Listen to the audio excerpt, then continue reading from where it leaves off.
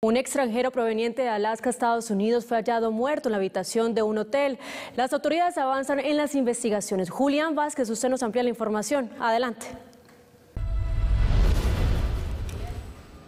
Hola, muy buenas tardes. Hasta el momento lo único que se sabe sobre este caso es que se trata de un hombre de avanzada edad procedente de los Estados Unidos y aunque el cuerpo pues se encuentra en estos momentos en la sede de medicina legal, hay que decir que al momento de la inspección las autoridades no evidenciaron ningún signo de violencia en el cadáver.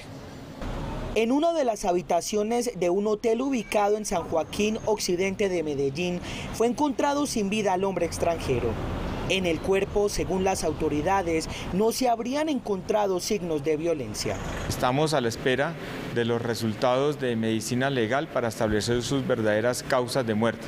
Lo que sí hemos podido establecer al momento de la investigación es que este ciudadano estadounidense llevaba aproximadamente seis meses viviendo en la ciudad.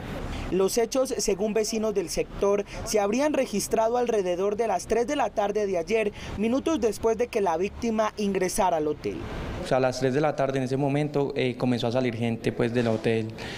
Comenzó a salir gente del hotel y y pues ya llegó como a los cinco minutos comenzaron a llegar pues carros de la policía, unas motos. Las autoridades investigan la muerte del hombre de 64 años y no descartan que se haya tratado de una muerte natural.